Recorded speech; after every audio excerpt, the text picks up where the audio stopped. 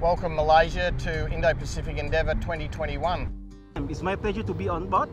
Uh, this is the most biggest ship uh, in the in the Australia uh, Navy fleet.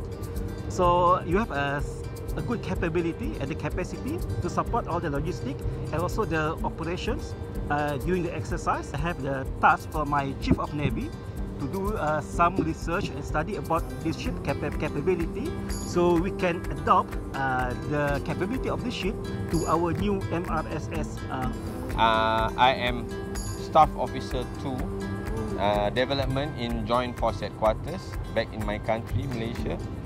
I'm doing the job of uh, conducting development program and procurement for the assigned force for the Joint Force Headquarters beside the enormous, enormous size of the ships, okay, uh, I was very impressed about the ship's capability itself and also uh, number of personnel on board, also the good food that they have.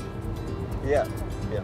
It's good uh, because Malaysia and Australia have a good uh, relationship for so long, uh, not in terms of political but also in defense. So I think uh, on everything that the uh, Australia defence uh, what to do uh, around the uh, Indo-Pacific. I think Malaysia to be included in the uh, in all the activities is, is very good. Yeah. And this uh, this program gave me such a big opportunity. Yeah, I'd very much like to thank uh, the three Malaysian Sea Riders for joining us on Indo-Pacific Endeavour. They've made a significant contribution to our ship uh, and to the relationship we've been able to build while they're here and I look forward to working with them again in the future.